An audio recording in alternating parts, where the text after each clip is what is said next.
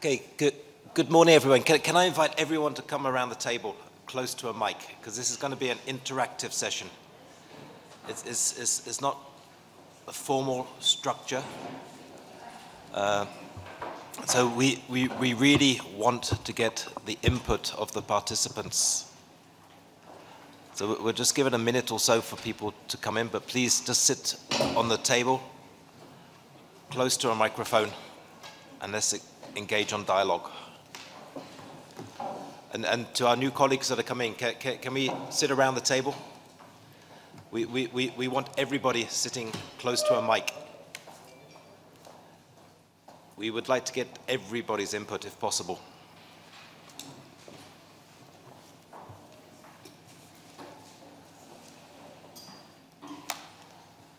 I, I see a few defectors in the corners. We, we, we also have room around here, although it's harder to escape from this side of the room.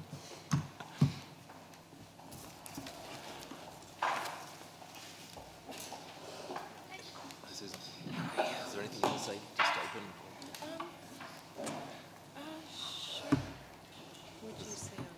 Because it-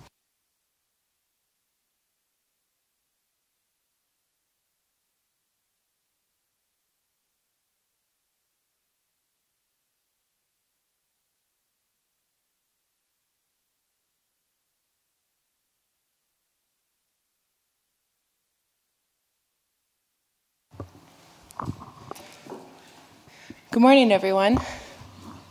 Thank you for um, attending this closing session on the digital inclusion track. My name is uh, Susan Chalmers, and together with Paul and a number of other MAG members, we've organized this session as a way for um, folks to come together and discuss any insights, um, share experiences that they've had over the week.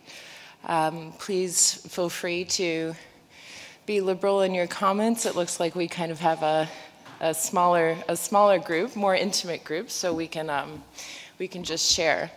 Um, for those of you who uh, were unable to attend the introductory uh, track or session that we had on Tuesday, what we did is we went out into five different breakout groups on some of the sub themes uh, of digital inclusion.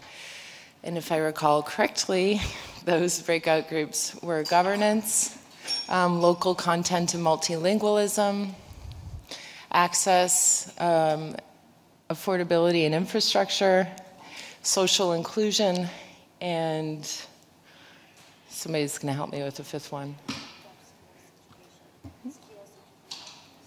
Oh, sorry, skills, education, and jobs. Um, so we're not necessarily going to follow that format, um, but we're just going to use this time to to have a discussion about the inclusion issues that folks have um, experienced over the week. So we could either go around the table uh, or just ask for volunteers to begin. Sure. Yeah, I just want I just want to add to that as well. You know, the, the IGF is a personal journey. You know, we, there, there's so much going on. We, we have different interests, uh, but we also share common interests. And those that uh, followed some of the digital inclusion track, the, the, these are issues that are quite pertinent. And for us, you know, the feeling is, you know, we, we've got to tackle a lot of big problems to achieve true digital inclusion. And the sort of feedback we want is, you know, ha- have these workshops helped us to achieve some of those goals? Has it fallen short? Are there areas that uh, need more intervention? Do we have workshops that are saying the same thing? You know, so are, are, we, are we getting duplication? Uh, we, we also want to try and draw out some of the key messages because this is one of the outputs of the IGF are the messages and these get captured into other documents and they, they help to set policy on, on, on, on a global level. So as, Susan said, you know, this session is a reflective session. It's, it's just to get a sense of how was your journey. You know, there, there, there's no formal right response. It, it's really how, how did you feel? Was it good? You know, most of us are on this side are members of the MAG, so we're part of the organization group for the IGF. So it's important for us because next year we're, we're starting preparations for the next one, which is in Poland.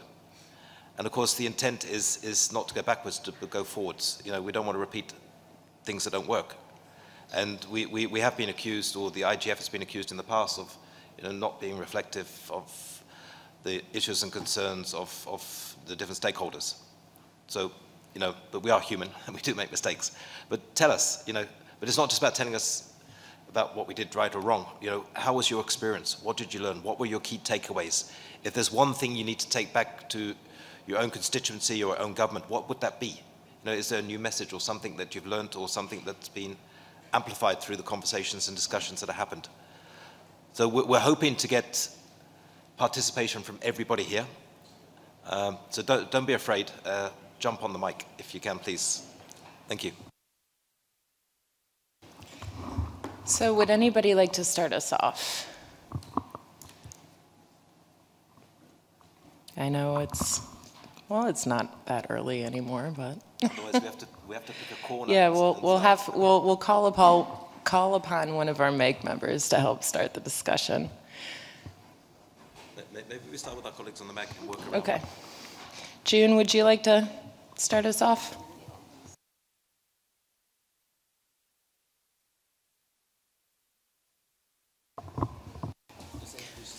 Hi, I'm June Parris. I'm on the MAG. Um, this is my second year, and I've got one more year to go. Um, my the part that I um, looked at in the last session here was um, govern uh, governance, and I think now since I've done that, I'm a little bit confused myself with governance, even though I've studied governance. And I think that it's not entirely clear for all of us that are here. Um, um, because I got the impression that some people think internet governance is governed by the government. And I want to know if we can talk about that. Uh, I'm just starting you off because it's not really, is it? Even countries without a government, they can have internet governance. So it's not the same thing. And since doing the last session, I myself, I'm not even clear on it anymore. Um, so if, if we can talk about that to begin with and see if you can clear my head for next year. Um, but as I said, there's countries without a government, like, um, it was it, what country was it? Um, it? Was it? It begins with an A. Libya, that's it, L. Libya. Libya hasn't got a government, and Libya is doing having internet governance, and they seem to be doing quite well at it. So you don't really need a government to do have internet governance. Okay, so I just want to clear that up, and I want people to talk about it right now, if they can. Thank you. I, Thank you, June. I think that's that's a fascinating question, and if I recall from our introductory session, um, you'll have to forgive me, the gentleman in the blue plaid shirt. You had organized a session about um, digital inclusion and governance or in inclusive stakeholder um, practices within um, ICANN, I believe it was. Would you be willing to uh, share um, any key messages or insights from that session? That'd be a good place to start, I think, on the governance track. Yeah, okay. Um, yeah, it, it, was great to have the opportunity to have the session. Let me say that first of all. It was really great to have the IGF. Um, because my impression was we, we touched on some pretty sensitive issues in the, about structural inequality in multi-stakeholder governance at ICANN. Uh, and we talked directly about questions of gender inequality, age inequality, race inequality, language inequality, geographical inequalities, business strength in, in, in internet governance, and so on. Um, but it was done, I mean, Paul, you were there. Uh, my feeling of the session was that it was very open, it was very reflective, it was very frank, it was very direct. And I thought this is such a good place, the Internet Governance Forum, as a place to bring all these different stakeholders together and to be able to have a serious, serious discussion about serious issues without getting, you know, super passionate or unconstructive and so on. So it was, it was very good. It was very good.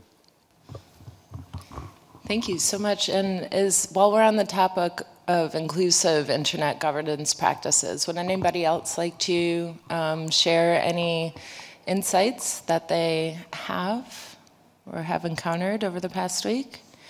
If not, maybe we can move on to something um, along the lines of um, access, access to infrastructure um, and inclusion, digital inclusion of um, folks and access to the internet.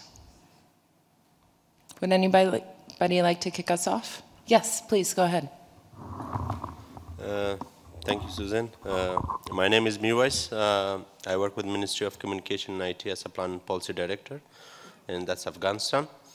Uh, so, uh, of course, the whole uh, week have been so much new experience for me, and I saw that there have been different sessions talking about how what policy makers and regulators should do back in the country and what they shouldn't touch and what should be prioritized. Uh, coming back to the uh, topic of uh, digital inclusion, so of course we currently are struggling in terms of uh, reaching out uh, internet and broadband throughout the country. Uh, but the practices that, that yesterday at the same hall we had a session where the broadbandpolicy.org a, a, a, web, a website is uh, developed where uh, government can see uh, what is the world doing in terms of broadband policy and what uh, should be included in while drafting those policy and what are the good experience and what have uh, other countries So those sort of platform knowledge sharing and best practices could help countries that are currently struggling. Uh, so one of the question was right. Uh, okay, so you you are making sure that you you are uh, uh internet is accessible. So then, what's the next step? And uh, how will what needs to be done in the area of digital literacy, and what standards should be considered in digital literacy that could best suit the the need, and how do you encourage people? to start using those infrastructure that you are investing so much. Uh, so uh, this opens up a new window for discussion back in our country and see and adopt new approaches. And uh, you have to have those uh, different indicators and milestones. So once you achieve the other, have to you have to be ready and you have to um, uh, make the environment enable for that. So those sort of discussion uh, in terms of policy and, where, and, and, the most important thing is how do you make sustainable those uh, sort of mechanisms in terms of digital inclusion and, and specifically talking about digitalization. Uh, so those sort of uh, topics, uh, knowledge sharing, idea sharing, best practices being shared. So I think this platform have uh, helped personally, helped me in seeing things from a different perspective. And thank you for that. Thank you so much for sharing that. And um, does, does anybody else here work on broadband access in the room? Because I'd be interested to hear um, reflections on this comment. No? Yeah. Yeah, what, what, well, one of the things that is shaping up in my mind, and you know, I'm, I'm from the global south. I, I live in Namibia, but I engage with regulators across the continent is we still have a 20th century mentality when we think, you know, we think in telecommunications. We have a Ministry of uh, Information Communication and Technology. We have communication policies, you know, but the global north has moved to digital policies and not telecommunication policies and things. And I think this is a radical shift that we, we need to start thinking about in the global south. And it's not that we're not aware of it, we're just slow to do it. But when you look at a digital policy, you know, you, you start looking at digital literacy. It's not just about connecting a community anymore. It's about providing meaningful connectivity, having a digital literate uh, community, people that can access it, and also understanding the difference between access and accessibility, uh, which I'm still trying to understand myself. and I get taken to tasks many times because I don't fully understand it. But we need to understand that because access and accessibility are two completely different things. So I, I, I don't know if anyone around the floor has, has, has any comments, you know, on, on, on, how they feel we can move towards a more digitally driven uh, policy framework or sensitivity around our governments understanding that process.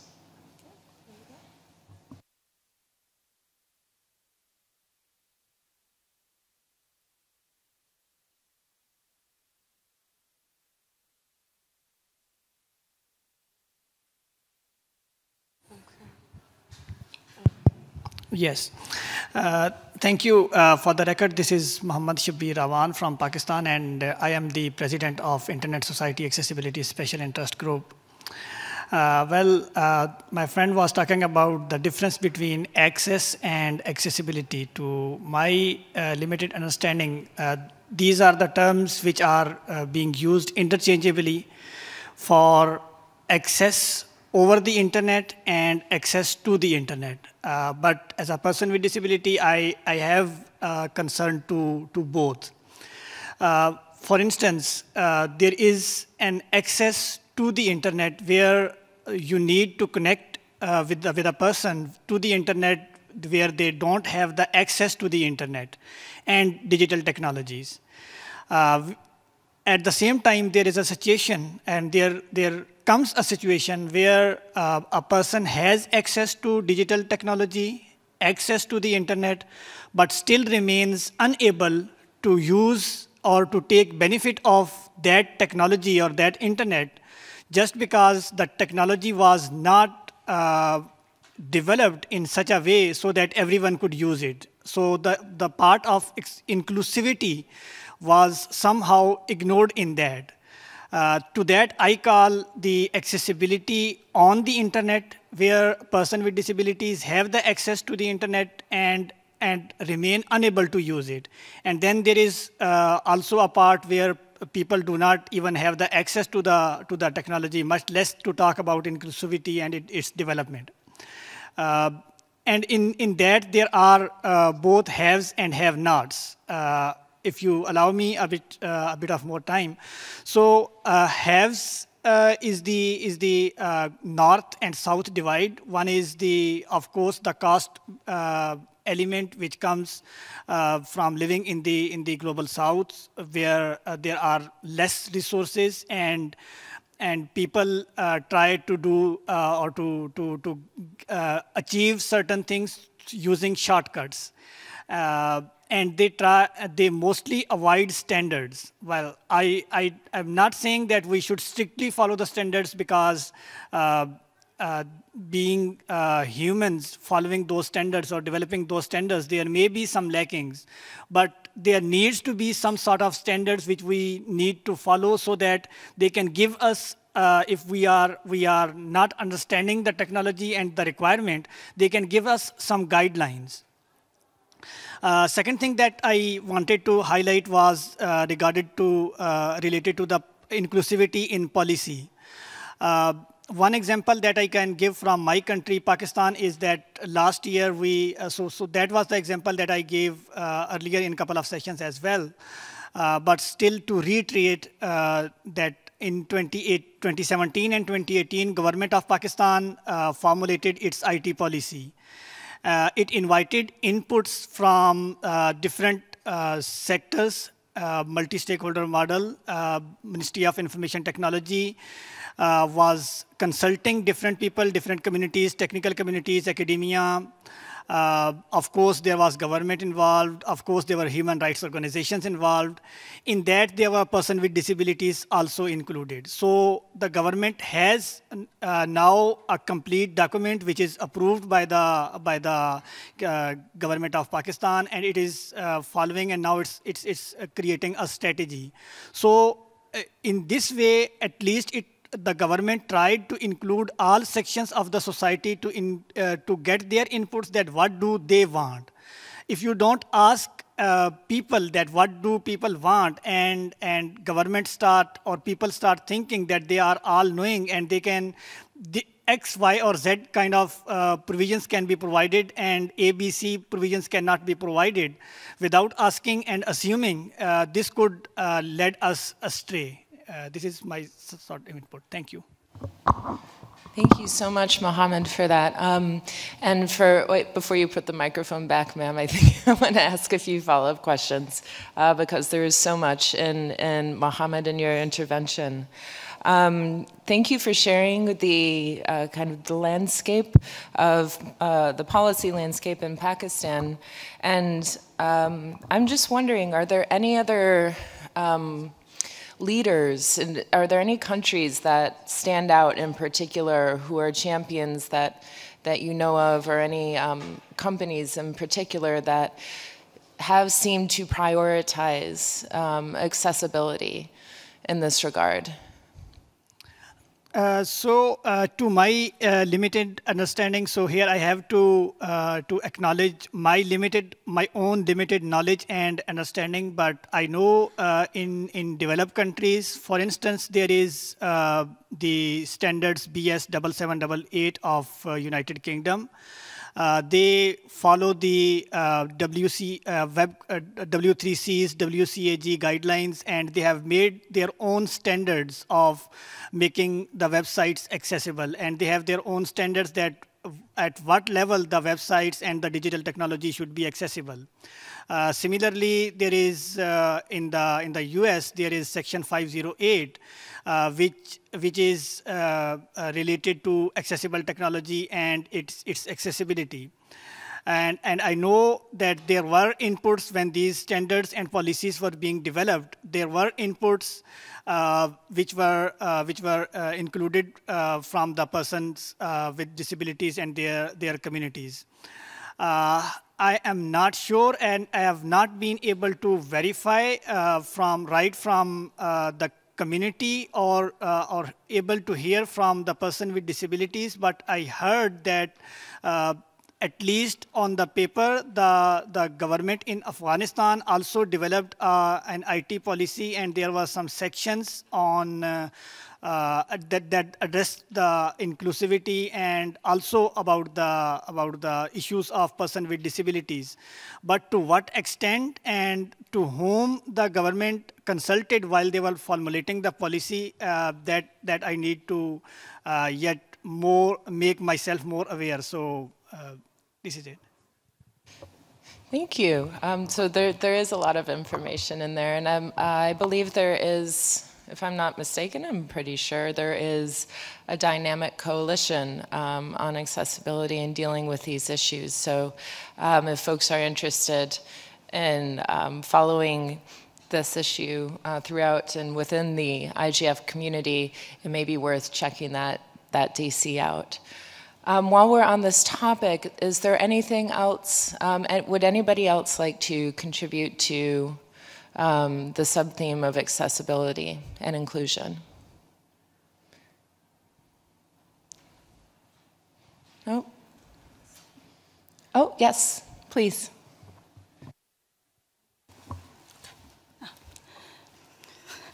Good morning, everyone. My name is Amelia Kamanalangi. I'm from a Pacifica Nexus think tank.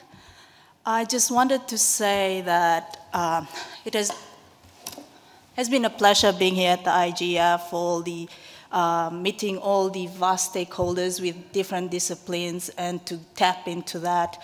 Um, just from my personal experience, because uh, I'm an I information system person, and later on, whenever, when I first started, whenever I tried to, to do to voice my opinion on the inclusivity on the social side uh, in relation to ICT, it was always shut down by the ISPs and, and in that environment. So I'm just glad to be here to see that even though uh, that we started talking about it and then I could see the ripple effect of this, that there is actually inclusivity because now in the Pacific, there is women in ICT being driven, and also in women economic empowerment, acknowledging the use of technology, uh, connecting the, uh, the rural to the urban for those who have access already. So I'm just glad that we are here in this room talking about this issue because there is a ripple effect. It's happening. So thank you for, for being here and talking about it.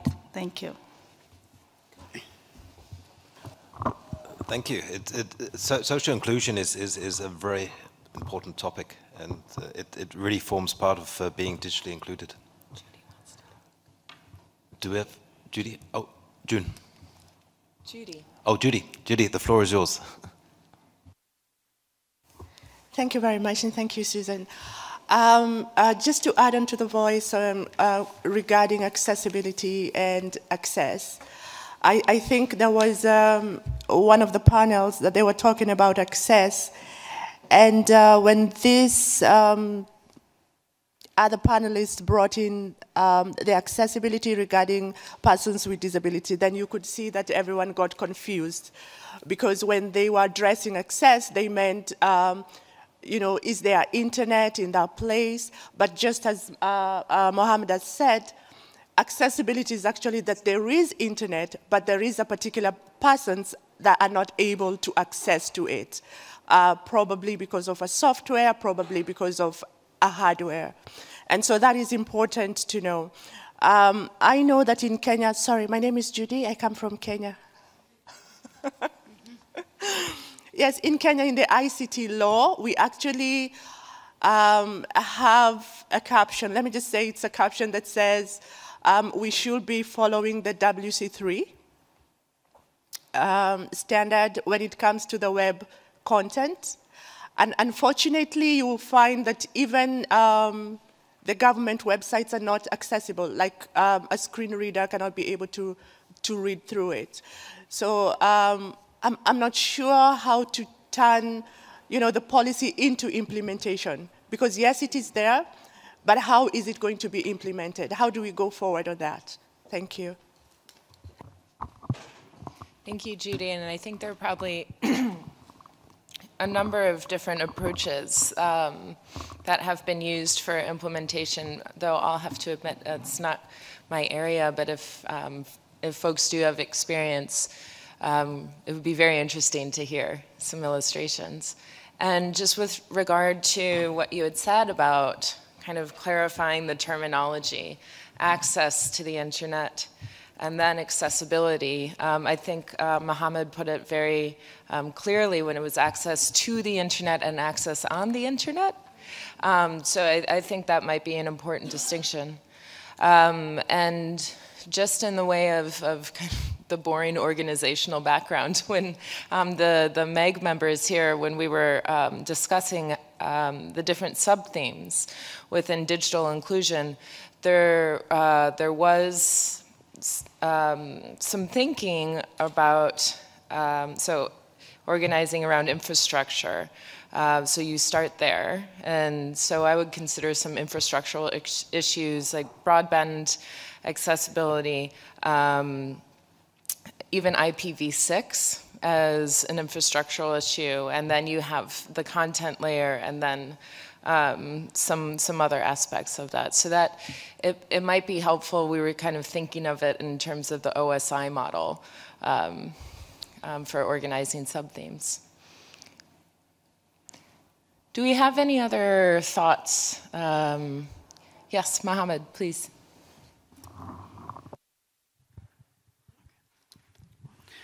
So uh, while we are on the topic of accessibility, uh, one of the sessions that uh, I, I, was on the panel uh, the day before yesterday uh, uh, of new participatory method, there very one of very interesting points came up. And while we are on the suggestions that what we need to do about is, the, the question was that do we have a research in quantitative terms about the accessibility of the internet for person with disabilities, that how, uh, if a website is made accessible uh, to, to certain level, how much it, it benefits the community and what is the, uh, what is the outcome in, in the monetary terms or in the financial terms.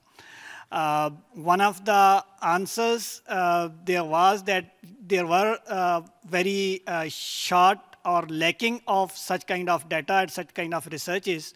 So while uh, I would I would highly recommend that this, uh, if if we are doing some research and that we are trying to commit to to some research in the future, this is one area where uh, we need to work upon that of how in terms of quantitative terms, in terms of in terms of financial terms, the accessibility impacts uh, the websites and the, uh, uh, so, so if I put it in, in another way, that uh, how the accessible websites uh, impact the financial or revenues of the company and how the inaccessible website impact the uh, financial uh, benefits and the revenues of the companies and organizations. Thank you, Mohammed. Are, are there any other interventions, comments? I, th I, think we have a sort of uh, IGF message, I think, uh, you know, I capture something here that, uh, you know, we need to differentiate and understand what access and accessibility means and capture this in policy dialogue if we are to achieve digital inclusion. So that's possibly one of the IGF messages we can take back and share. I'm, I'm, I'm just going to hand the floor quickly to Dalsie just to give a bit of an insight into the access affordability, because we're on this theme and infrastructure, to see if we can stimulate some dialogue around that, some further dialogue. But as, as I mentioned, Joe, we really want to get, we don't want to be talking to ourselves. we, we, we, get a lot of opportunity to talk to ourselves, but we, we don't get a lot of opportunity to talk to you. Okay, yes, please. Hi there, this is Carolina from LACNIC. Um, so Ron, I understand that then you're trying to start off with maybe the infrastructure layer and speak a bit more of access to the internet. There's been several um, sessions around uh, community connectivity, and I think that definitely needs to come up as a message. Um, I feel that what's sort of coming out more strongly is all the work around community networks, uh, movements, uh, across the uh, global south, and I think we have a few representatives, uh, at least there's one here, a colleague um, uh, from a community network in Latin America, and I think um, sort of the message there, or you know, what's been discussed in the sessions is sort of like the evolution um, back saying, I don't know, IGF 2016, community networks, you know, felt like it was like a, you know, sort of a new topic, a new thing, and it's a movement that's gained sort of a lot of strength uh, throughout the years. Um, and essentially, it's this idea of, of, of, you know, when we think about connectivity, connecting the unconnected, that we don't just think about, hey, you know, private, uh, you know, private sector has to do it or governments have to do it. There's sort of other answers uh, to connectivity and, and, community networks are, um, you know, if I may attempt to sort of define them, um, uh, networks that are built and sort of run by communities that are um, unconnected, you know, be it because they're in rural areas or because in the global south they're in, in I don't know, say urban areas that are regarded as unsafe and, and therefore internet service providers don't want to go in there to provide the service. Um, so in term, yeah, again, in terms of access, I think that's the message that needs to, you know, come across. Thank you. Thank you so much. And um, I don't know if if uh, perhaps there's an example or an illustration of a community network or a narrative that maybe our colleague could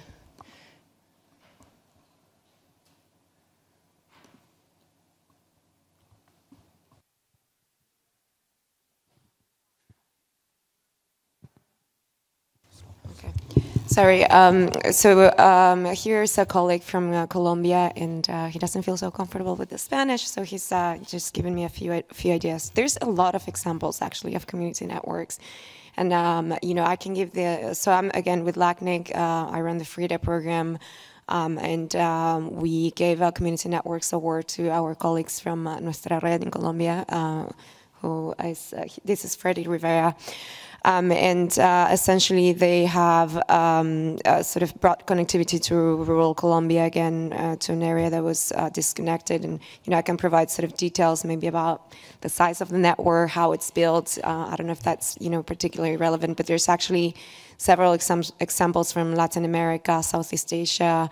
Um, Africa, um, you know, I would say from the early 2000s to date, um, that uh, have you know proven successful, relying on a sort of whole range of different technologies, really. Um, I, I, don't know, you know, if that, that, you know, that's kind of what you're looking for. Uh, I mean, it's, um, I don't know, such a sort of wealth of, you know, uh, sort of um, approaches that these different communities have adopted um, that it's sort of hard to, you know, give one concrete example. Um, and just to sort of relay what my colleague here was saying is that he was saying sort of trying to tie the question of access to accessibility, saying that community networks is such an effort to sort of build infrastructure, build the networks that sometimes they struggle um, to also meet standards for accessibility.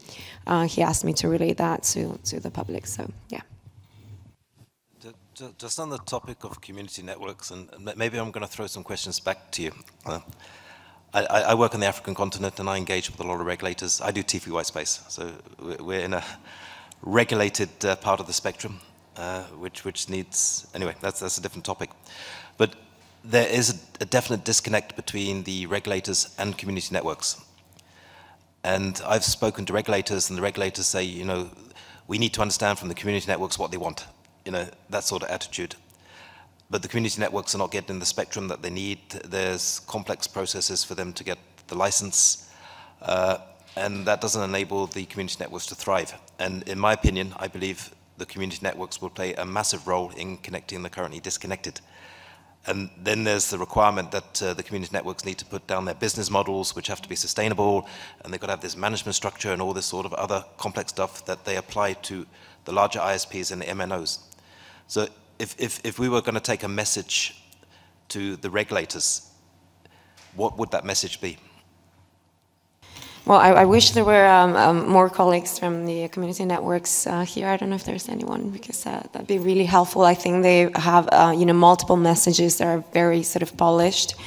Um, so it's a pity they didn't make it here. But I think um, sort of trying to go to sort of the, the big themes, um, what we've, you know, been discussing in the last couple of days is that when community networks started, they were, you know, it was an idea, right? They were in fast proof of concept, if you will, right? And and now we know there are, uh, you know, multiple communities, uh, again, relying on different technologies, with, you know, facing different challenges across the global south that work, right? Um, so in terms of thinking how community networks can scale, uh, there's sort of several questions that lie ahead. Um, and I think you got to the heart of two. One is uh, working on, on sort of the regulatory front to ensure that networks are not operating in informality, right? So that they're not like, you know, trying to borrow spectrum and doing everything like, you know, sort of off the books. And there's actually been quite a bit of progress. And again, uh, I'm from Latin America, so I can speak to that. Um, we have one of the community networks we supported back in 2015 called Altermundi, and they received an operator's license uh, in Argentina. So there, there has been uh, sort of uh, conquers, if you will, or steps forward, um, you know, uh, on the sort of regulation front. Uh, and of course, I mean, within the community networks movements, there's a lot of things that need to still sort of be worked out. As you mentioned, there's a question of sustainability models. Um, you know, some communities work uh, based on sort of non-market, uh, non-market logic, and that works for some community networks. It doesn't for others. Um, but you know, it's it's you know the various models is something that's been explored. They're also uh, sort of exploring uh, questions around producing uh, local content. Um, there's a lot more to do still on sort of the development of hardware and software that's um, uh, sort of better suited for the needs of community networks. Um, but, but, definitely, I mean, if I were to summarize, I mean, the community networks are still figuring things out, and, and, one of the sort of key things that are seen as, you know, an important and necessary next step is working more closely with regulators on questions around, um, you know, spectrum use and access. Um, and you know all their sort of complementary aspects, as I mentioned before. For instance, um, uh, you know, being granted operators uh, licenses so that they can access, you know, universal service funds and so forth. Um, and I hope I do I did justice to. Uh, I don't know again if there's anyone else from from here that wants to talk about it. That'd be great. Thank you. Uh, yes, Freddy will speak in Spanish and then I will translate in uh, in English if that's okay. Yeah. Eh, dos aspectos muy importantes que, que me llaman la atención eh, es, primero, el tema de regulación del espectro. Nels. Um, well, two aspects that are really important that I would like to mention uh, about uh, spectrum policies. Es el gran agujero negro que tenemos las redes comunitarias para poder cumplir nuestra misión de conectarnos. For us, it's like a big uh, black hole uh, that we have to, to face uh, and uh, to, come, to come by with to really connect us. En Colombia, por ejemplo, eh, acabamos de estrenar una ley de tecnologías eh, que actualmente las redes comunitarias hemos demandado porque no nos dan un acceso justo a este espectro. There's a new law um, defining technologies and access to spectrum in Colombia, and uh, we from the community networks we uh, are now on trial with the government because we consider this, uh, that this law doesn't give us uh, the rights that we need to the spectrum. y al contrario nos deja al nivel de simples eh, beneficiarios de las políticas del Estado, lo que contradice el espíritu de las redes comunitarias. And so we always have to wait that the, the state somehow is beneficent uh, to our demands without uh, really granting us uh, rights. Queremos recalcar que lo importante de las redes comunitarias es precisamente la gobernanza, en que nosotros podamos gobernar estas redes. For us, the aspect of governance is really uh, important, and we as community networks, we want to govern our own networks. Bien, eh, también creo que eh, en el segundo punto hay una, eh, han manifestado ustedes una confusión entre acceso y accesibilidad, eh, la cual para mí no es tan confusa y quiero expresarme al respecto. And it seems that there's still kind of a, a confusion between access and accessibility. I don't uh, see much of confusion here, and I will tell you why. Nosotros las redes comunitarias solucionamos el problema de acceso a la red. Sin embargo, para nosotros es sumamente costoso en esfuerzo, tiempo y dinero volver nuestras redes comunitarias accesibles, como por ejemplo para las personas con discapacidad. What we can do as community networks is this first step to create access uh, for the communities, but uh, the real task uh, comes later when we are talking about how to make uh, uh, this first uh, access to turn it into really an accessibility for the whole community. Pero la accesibilidad no es un problema solo para las personas con discapacidad. En el caso de nuestras regiones, eh, o en Colombia en particular, la accesibilidad es un problema también de alfabetismo. And when we talk about accessibility, we uh, don't only talk here about uh, people with different capacities, uh, uh or uh, we are talking here. Um, we're talking here about about literacy and digital skills. Eh, tenemos redes que cubren el acceso para grandes poblaciones de campesinos, pero son campesinos que, por ejemplo, no pueden leer, no saben leer o tener acceso eh, interpretativo de los conceptos. Uh, for instance, there are uh, networks that we uh, have uh, deployed uh, in rural areas where lots of uh, farmers are living, but those people very often do not know how to read or they don't have the skills to interpret certain messages. Hemos discutido sobre la accesibilidad como también sobre la gobernanza de Internet, pero creo que la próxima pregunta en un evento como estos debe ser la red para qué. So we are now in this panel uh, about the question of the accessibility uh, to the to the networks, but uh, we should maybe uh, broaden uh, uh, the question to the point: what do we use the the internet for? It's Alice.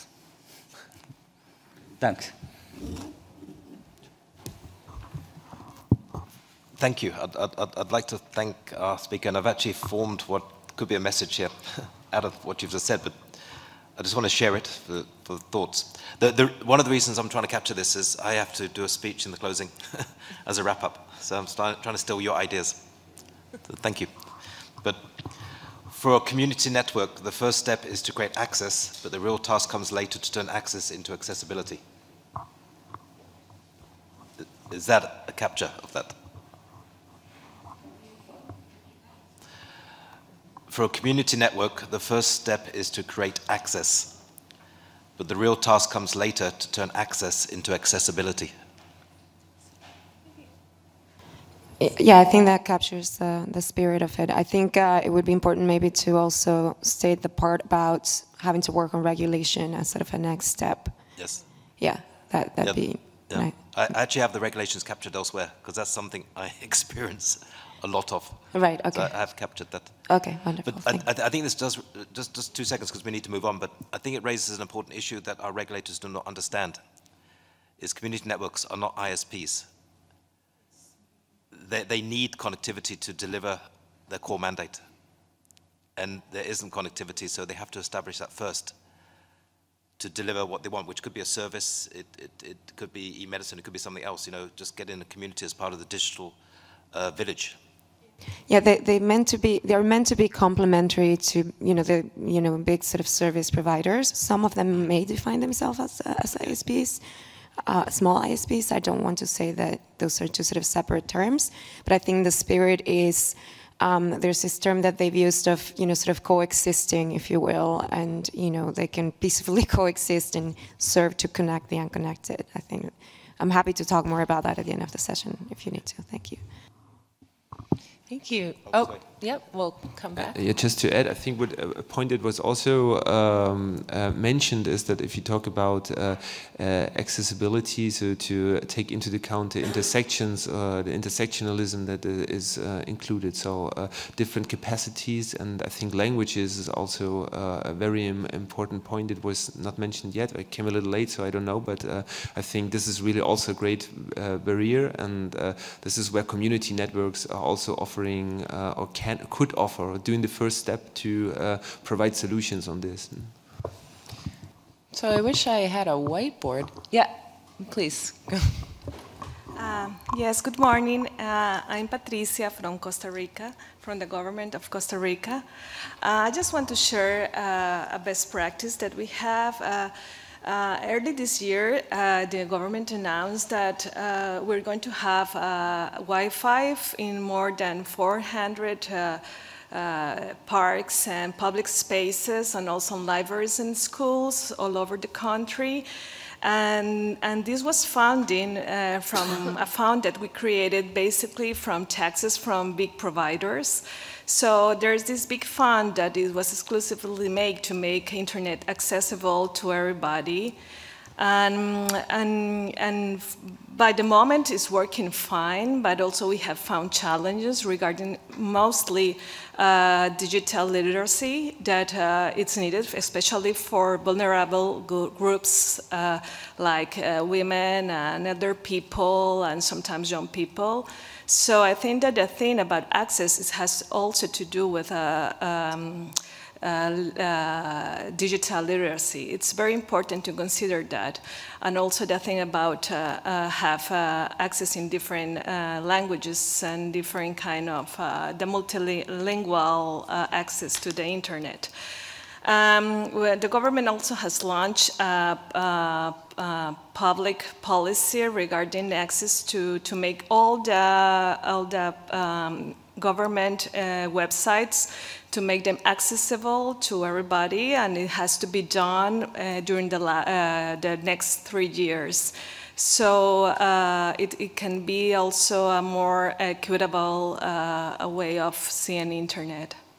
Thank you. Thank you so much um, for sharing that, that illustration. Um, and so I think we're going to turn to Dalsie, who um, during our introductory session uh, moderated the breakout group on access um, and infrastructure, and then then we can um, move on to other topics. Dalsie, please. Thank you, Susan, and thank you, Paul, for giving me this opportunity. Um, again, my name is Dalsie Baniala. I'm from Vanuatu, if you know where Vanuatu is. And I'm, a, I'm the former regulator for telecommunications, and I can give you some insights on what's happening there. So, first of all, um, the issue here is, you know, that we have covered in the last uh, how many days uh, access, infrastructure, and affordability. But more moreover, there are more other factors included to that one that makes it more complicated. But in the Vanuatu example, we had this policy, what we call the Universal Access Policy, and it promotes a model called pay or play.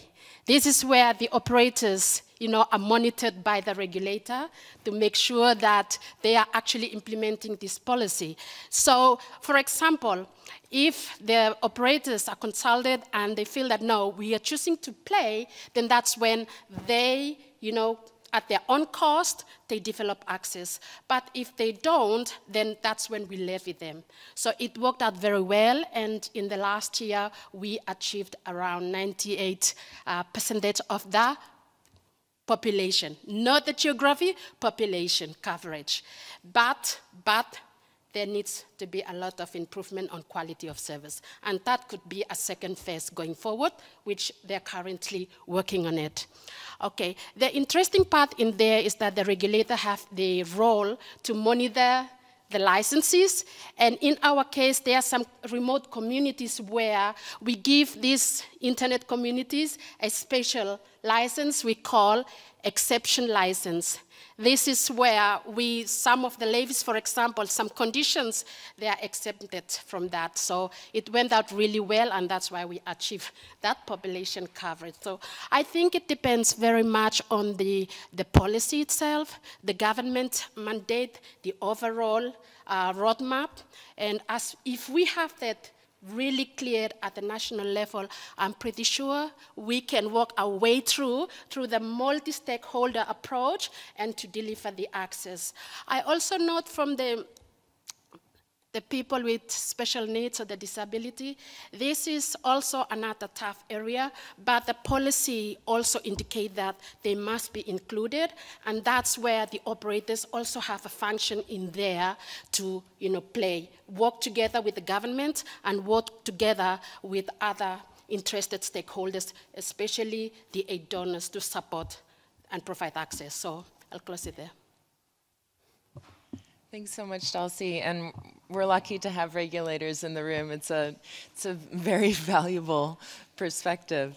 Um, so having started with these questions about um, infrastructure and then distinguishing access to infrastructure from accessibility um, to, to the internet, um, I just kind of want to come back to um, accessibility also being dependent um, on uh, content available in different languages and also digital skills. And so we're kind of building a, a theme here. And i would like to turn to Rose, uh, who during our intro session led the breakout discussion on um, digital skills, innovation, and jobs. And then we might segue um, there as the gentleman had mention languages to the local content and uh, language discussion. But uh, Rose, please take the floor. Thank you, Susan, and good morning, everyone. Again, my name is Mary Rose. I'm from the Philippines, so I lead um, the discussion on digital skills, education, and jobs during the introductory session. So we've been hearing repetitively, like over and over again, how we can have meaningful and productive access to the internet. And so we're talking about how can we prepare our workforce um, to respond to the digital demand and the fast-paced improvement and development in the technology so that we can have indeed a meaningful and productive access to the internet. So one of the um, key messages that transpires um, over the course of the IG forum and um, and during the introductory session that we have is how can we prepare our educators? And if there's uh, if there are practices and ways or policies that we can prepare our educators for them to be able to transfer the needed skills to the students and to their graduates and even to the existing workforce to um, improve their skills based on the demand of the um, changing technologies. And I think what's the most important thing that arises here is building not just the digital skills, but also the analytical skills, critical skills, and the human skills, which is a lifelong learning. Um, and we need a, an approach in order to build this capacity instead of just giving them the skills on how to program, on how to code and use the computer, right?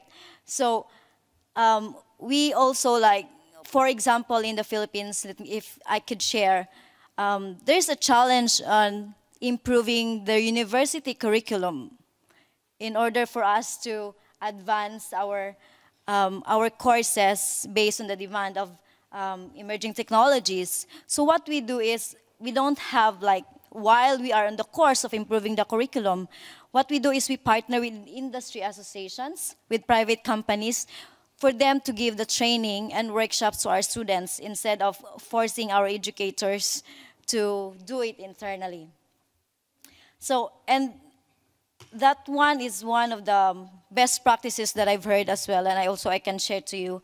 Um, I think there's a there is a necessary uh, bridging the gap between the between the lack of capacity at the academe level and and the and the expertise of the industry partners. And that's where I think we can start working on on how we can improve the digital skills of our workforce.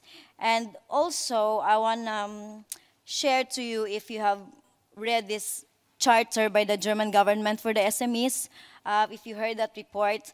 I think um, coming from the private sector and uh, tech startup community builder um, I want to highlight, and I think this is also a call by the German government to all the practitioners to share with this with these goals and aspirations. Um, it's here that we have to work together, the government and private sectors and civil society, to help our small and medium enterprise to be empowered and digitally skilled and give them the resources, whether it's infrastructure or, or financial resources to help them invest in a more robust um, digital infrastructure, give them access to, to more resources to empower, to empower them and help them create and develop um, develop solutions instead of just um, instead of just you know doing this for other people. Like i mean giving them the capacity to offer their, their, their solutions at the local level and at the same time at the global level. So um, that one I want to stress, I want to stress out.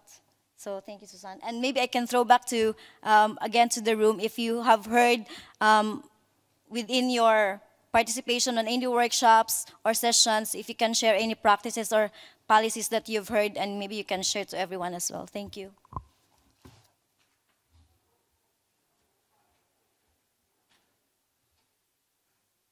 Sorry, so it seems we have we have a few hands over here. Um, would uh, would you like to begin? Yes. So I have a question. Uh, uh, now I see that the, the issue that I'm struggling back home, it's not just issues in my country, but it's universal. Uh, uh, coming back to uh, the the point that have been raised by the colleague, we currently have the same issue with, back in, in Afghanistan, where we are in the process of bringing in restructuring or revising our university curriculums in the area of specifically in computer science section where how do we uh, incorporate the new technology trend that is happening how do we do that as a curriculum. And the approach that uh, uh, she suggested is uh, we did consider that, but, but our concern is how do you institution, institutionalize the uh, trend for the curriculums uh, to be adoptive, uh, adoptive and somehow changeable in terms of new technology development. Let's say, for instance, that currently we are talking about big data and Internet of Things, artificial intelligence and we are still struggling uh, in making that into our uh, curriculum. And the private sector is more looking into human capital, and they will be back relying on the universities. So it's a sort of like value chain, and, and, and uh, unless we do not introduce those sort of mechanism or, or uh, uh, approaches that could, uh, let's say, enable the way for uh, enhancing our curriculum.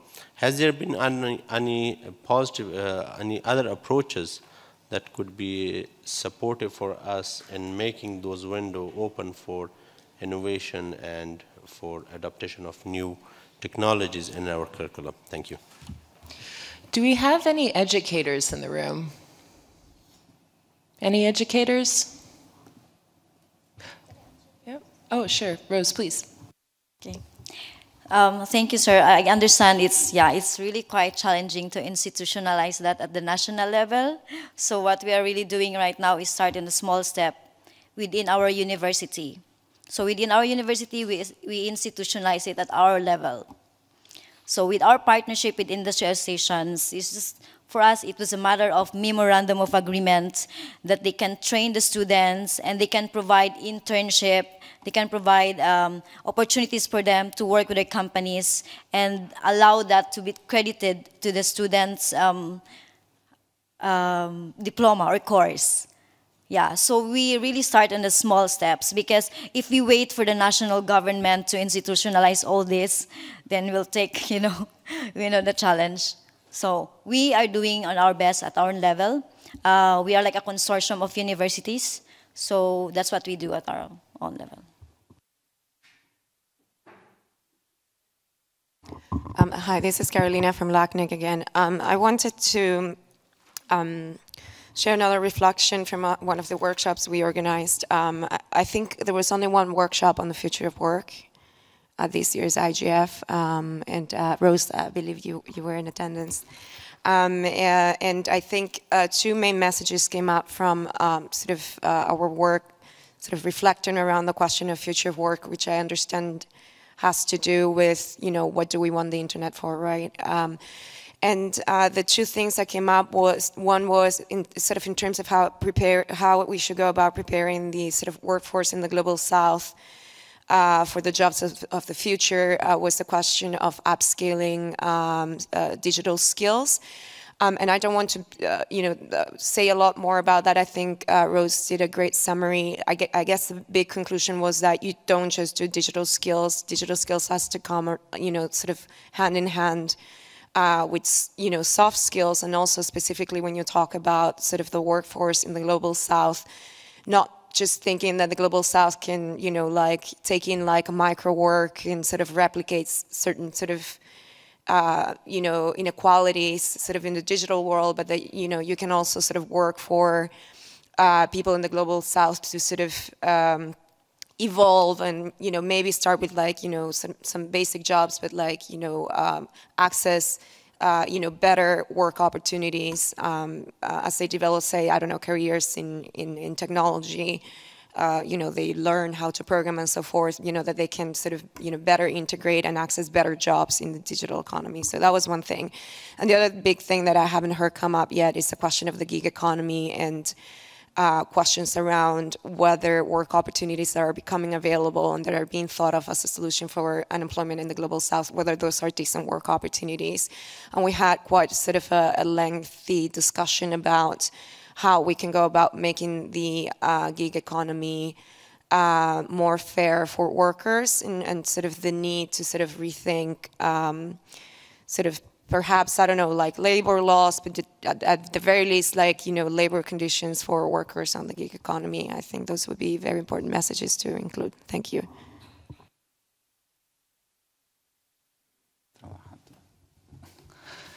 Eh, en cuanto a esta alianza que la señora de Filipinas hablaba entre la empresa privada y la universidad, eh, tenemos que considerar que hay un riesgo donde sea la empresa privada la que maneje lo que enseñamos en la universidad. About, about this cooperation uh, that the colleague from the Philippines was mentioning, I think there's uh, some kind of a threat also that we have to be very careful that uh, the private sector will not end up to define the curriculum of the universities. Porque si bien en Internet tenemos unas grandes oportunidades de trabajo, debemos saber también que el desarrollo no solo es el trabajo. Uh, it's true that the, the internet is uh, creating lots of uh, uh opportunities, uh, but uh, it's not only the, the, labor market that, that means development. Como desarrollador de software que soy, sé que mi trabajo no solo tiene la oportunidad de generar un dinero para mi familia, sino también de transformar la realidad de la comunidad donde vivo. And so, uh, me as a, a, software developer, I see my work not only as something that, uh, create, uh, that creates an, an, income for me and my family, but also something that should transform the community where I'm living. Hay un riesgo adicional cuando quienes fabricamos el software o estamos en tecnología caemos en el remolino de la precarización laboral. And uh, we have to be uh, really careful, uh, especially those uh, like me working with technology, that uh, we don't enter in uh, dynamics where we are auto-exploiting ourselves in precarious conditions. Y nos convertimos en conductores de Uber en el software, quitándonos la posibilidad de desarrollar realmente trabajos que nos transformen como personas y como sociedad. Esto eh, es algo que la empresa privada no entiende, porque ellos necesitan es obreros. So uh, I don't would like to end up as a, kind of Uber driver of uh, software development. Uh, we also always have to think how to create uh, just and dignifying working conditions that transform our societies.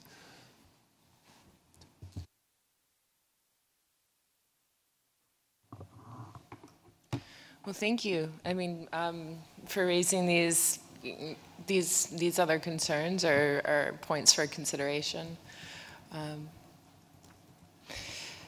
on the on uh, digital skills and education and innovation. Do we have? Oh, please. I, yeah. I would briefly like to comment on what the sir, what the minister was saying. So the, uh, that sounds like uh, that the key word is mobility mobility and digital uh, work, jobs. Uh, well, I'm already speaking, so uh,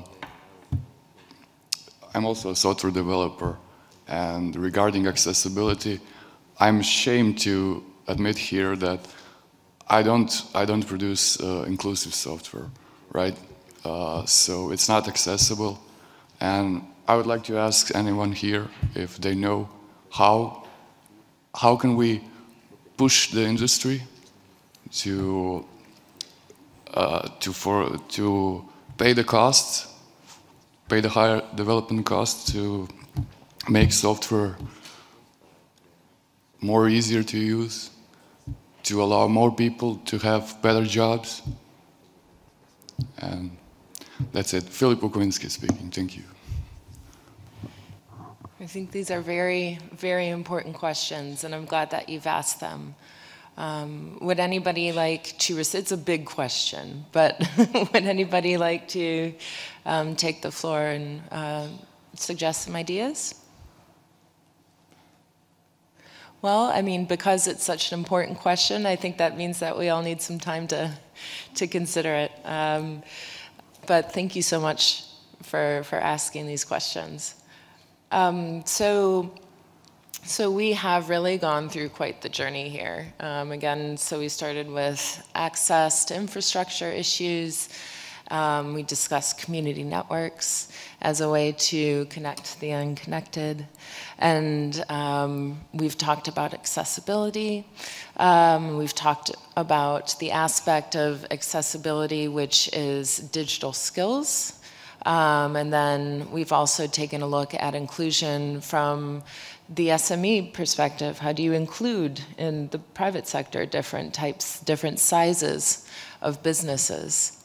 Um, so I'd like to, and since we had our last two interventions from software developers, um, I'd like to move on to uh, local content and um, multilingualism. And the reason why I connect that with software developers is I will share one issue that, um, that could be kind of obscure uh, for most folks, but it's called universal acceptance. And universal acceptance, I think, is an aspect of um, digital inclusion. So, what universal acceptance means is that um, all domain names or email addresses, regardless of what script they're in or how long the domain string is, um, are accepted by software. So if we think about, I'll just take um, one half of universal acceptance. Uh, if you have an email um, address that ends in a new GTLD, for example, like dot photography, Uh, if you go and you want to use a web form or sign up for a list serve, you're able to use that email address and it is recognized. There is also a really important um, multilingualism um, and digital inclusion aspect to universal acceptance, and that is the acceptance of internationalized domain names.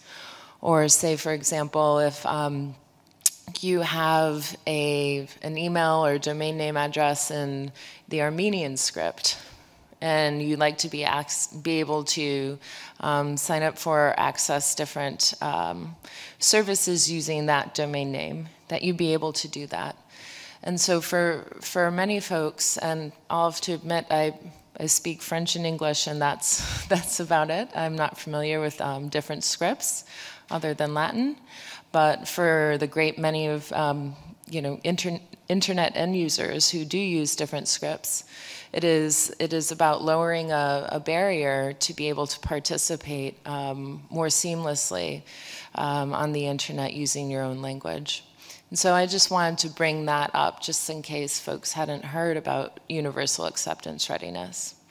Um, but when it comes to um, the question of local content and multilingualism, um, I'm sure you know we have we, we have a very diverse crowd here today, and I'd like to um, hear from folks if they have any thoughts or experiences to share. If anybody was able to attend a session on this subtheme of digital inclusion.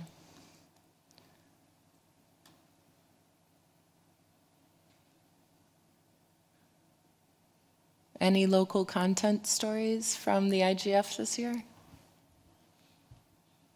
No?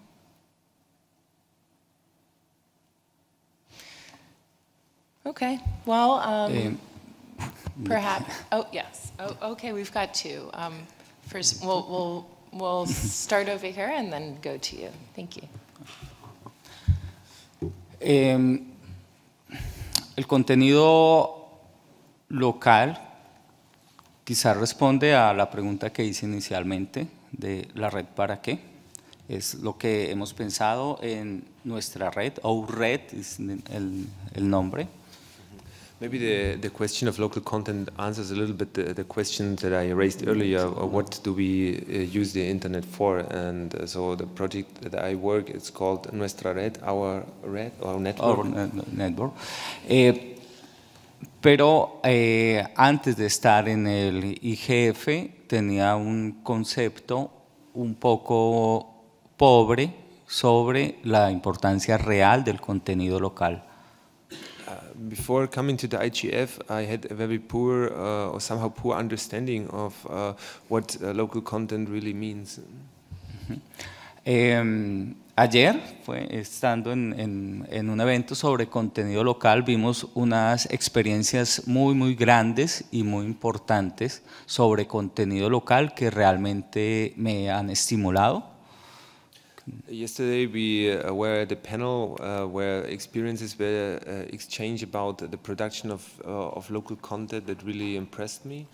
Como la experiencia en Sudáfrica eh, de hacer un estudio de animación digital con niñas que no solo cuentan las historias de las niñas convirtiéndolas en superhéroes, sino que eh, las han capacitado para que ellas mismas hagan la parte de la animación digital e inclusive los guiones.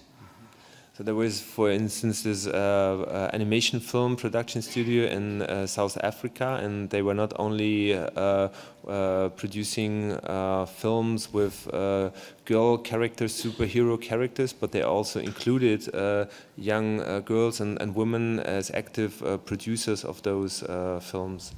Y lo más importante o lo más impactante, mejor, es que ellos tienen la certeza que un día ganarán un premio de la Academia, un premio Oscar, y yo creo que así va a ser. And the most important was that they really have lots of confidence to uh, win uh, the Academy Awards uh, one day, and I think this will really happen.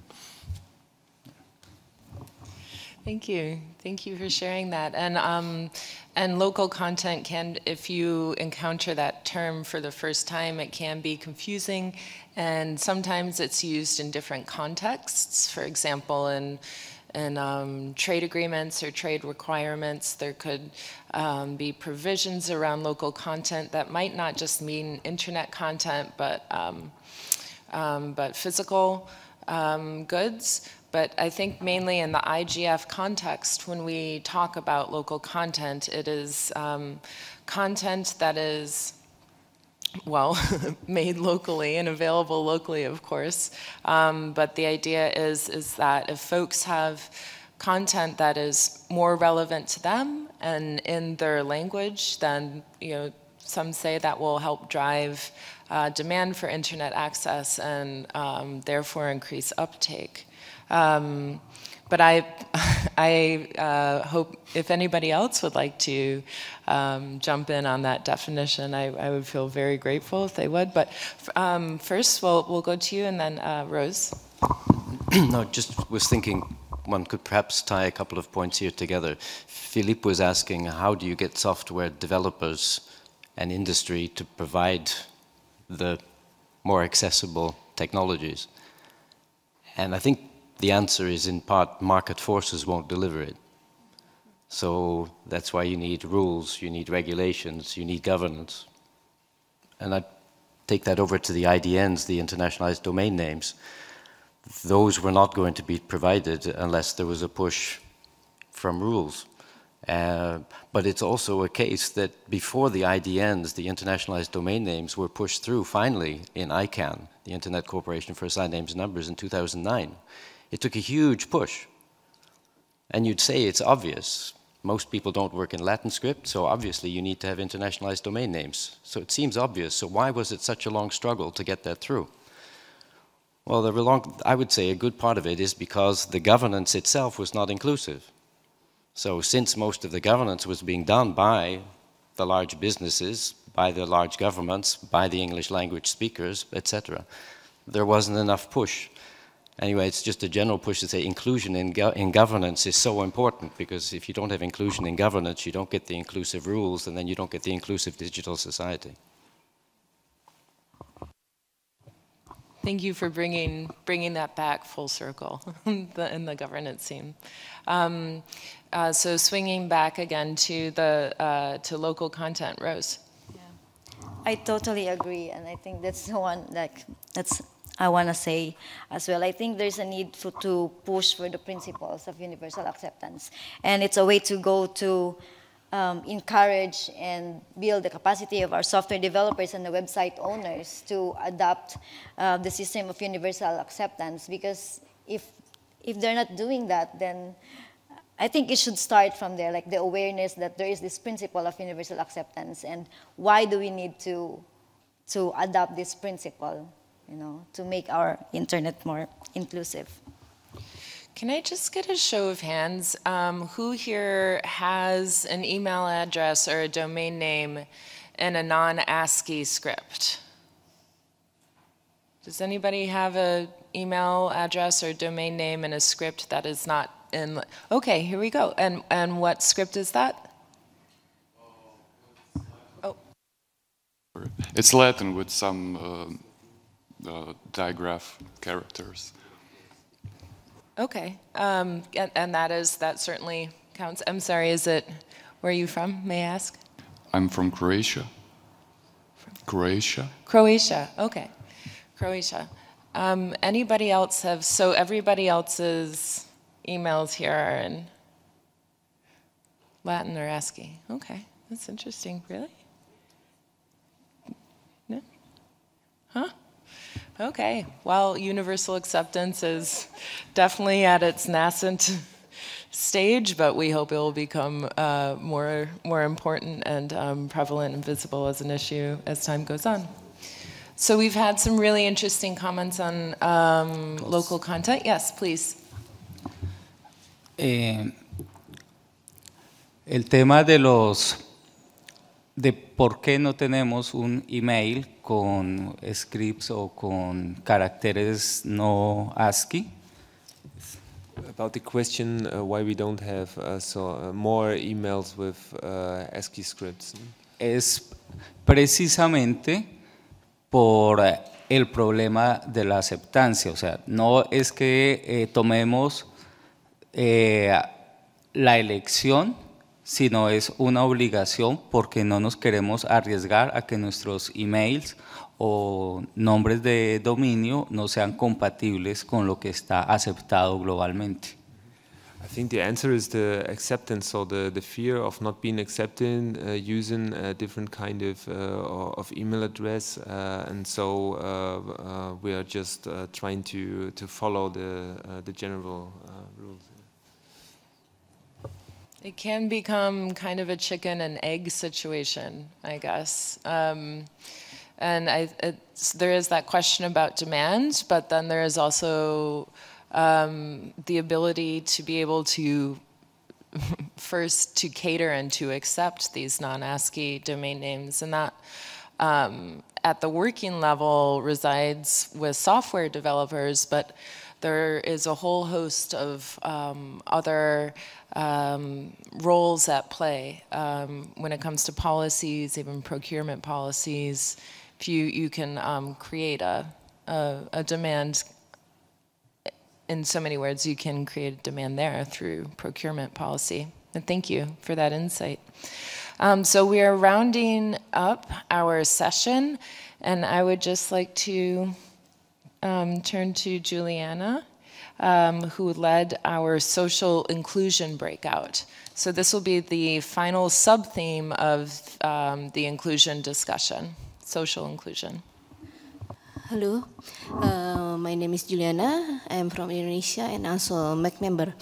Since the time is running out, I will be short and briefly uh, talking about the social inclusion uh, that we discussed that I lead to breakout.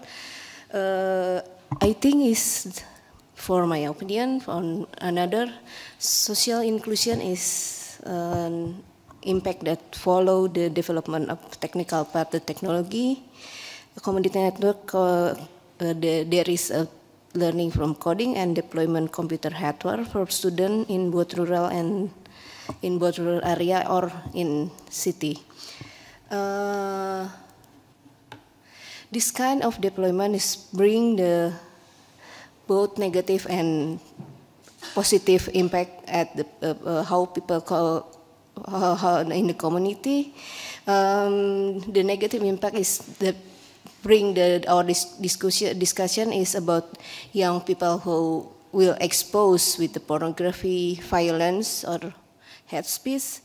Uh, it also raised the problem about digital gender gap and the, uh, the security of transgender sex worker, sex drug user when they connecting into digital world. But also there is positive way about the deployment technology when when more people getting connected, uh, especially people in living in uh, rural area who difficult get to access. Um, there is a discussion how to tackle the negative effect of technology. Community empowerment and government regulation are some idea that rise. We, we and I and, and me and some people still believe that technology could bring advantage and positive way in, into people, but we still have to thinking how to mitigate the negative effect of technology.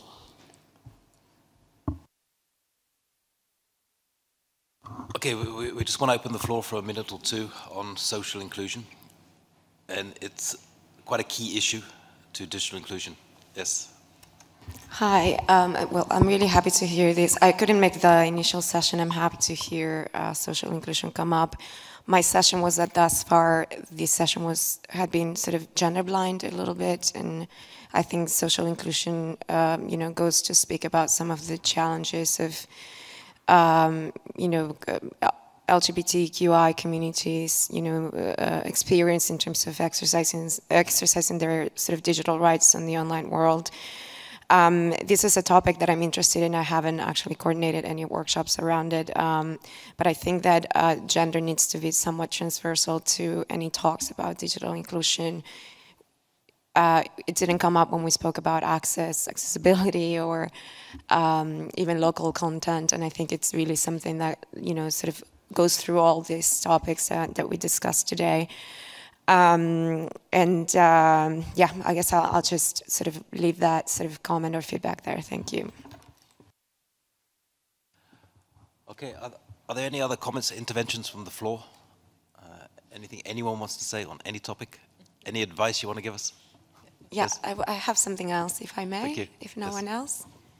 Um, I wanted to give a bit of feedback about the session itself. I think um, this is my fifth IGF. I'm really excited to see that we're doing these sessions to sort of.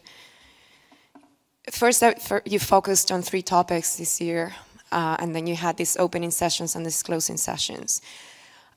I um, feel like there's been so much sort of wealth of and, and depth of discussions, and I'm not sure if that came through in, in, in this session. I'm thinking that perhaps it, you know, while it's a very, very important space, there's something that can be done for, uh, you know, to ensure at least workshop organizers are required to come to these sessions. Um, because, you know, I've done my best trying, for instance, to like explain some of the conclusions from the community networks, uh, you know, uh, sessions that I participated in, participated in, and I, feel like I didn't do it justice again. Um, and um, so perhaps that can be a way in which we can really sort of draw the conclusions because I feel like, I don't know, say around content, there's, there's a lot of things that went on that maybe we didn't manage to sort of touch upon here. Thank you. Thank you so much for that feedback. And um, we did uh, we did send out invites, kind of explaining the nature of. I don't know if everybody received them. Perhaps we could do better to communicate that, but inviting workshop organizers. Um, and participants to come and share, but um, this is there's definitely roo- room for improvement, and I, I agree with you. I feel like there is such a wealth of um, knowledge and experience, and if we can do our best to evoke that, uh, then we'll focus on this for next time. Yes. Yeah, just, uh, sorry, I didn't introduce myself before. I'm, I'm Jan Scholte at the University of Gothenburg and University of Duisburg-Essen in Sweden and Germany. Um, I just want to follow up on that. I think that that's a really good point. We were trying to, we were struggling a little bit at the opening of the session. How do we get this going? And possibly a way to get it going is indeed to ask the, the workshop organizers to come with one message you know, and then just go around and, and tell them that they're going to have a role. Because I was a workshop, organizer, I thought, yes, I want to hear what was coming here. But I probably would have been the more inclined to come if I knew that I actually was supposed to do something here. Um, that might be an idea. Yeah, uh, on behalf of the MAG, I would actually like to thank the two of you specifically for those interventions because it is very important for us. Just, just so everyone knows, this is the first time that uh, the IGF has taken this approach. Uh, so in a way, it was a bit of an experiment, and you know we want to be risque. but you know, our sense was that this is bringing some focus. You know, the IGF is being accused of becoming unfocused, and if you look at last year, there's just thousands of things happening all over the place. So we tried to get three main themes plus all the other open forums, DCs, and main sessions, and there's still probably too much. But our sense is to, to, to take stock of these three tracks and get an understanding, did they make a difference to people's experience uh, at the IGF? And if we do it again, which I hope we will, uh, how do we do it better? And the comments that we received, I think we will, well, we will definitely take them back, and we're hoping that they, they will become part of the way that we tackle this next year. And to be honest, when, we started this session, we, we, we had a bit more of a formal structure, but I don't think we had the right structure, and that's why we pulled away from it. You know, going back to breakout groups, I don't think was the right approach, because that would not have got an open discussion and open feedback from each of the uh, the workshop, all the workshop streams. But I think I think it, I don't know how we can get more uh, organizers to these sessions because you know we can't force people to come. It's on a voluntary basis, so it needs to add value to them. And at these sessions, there's still a lot of interesting things going on around us. So, you know, I'd, I'd like to thank everyone that did take their time out of other sessions to come here because this discussion for us has been very useful. I'm hoping it's been useful for all of you and that it was worth your time joining us at this session. And I, I think we can just have a clap for everybody that came and ourselves. And thank you. and on that note, we close this session, and hopefully we'll see you in the afternoon for the closing, closing sessions.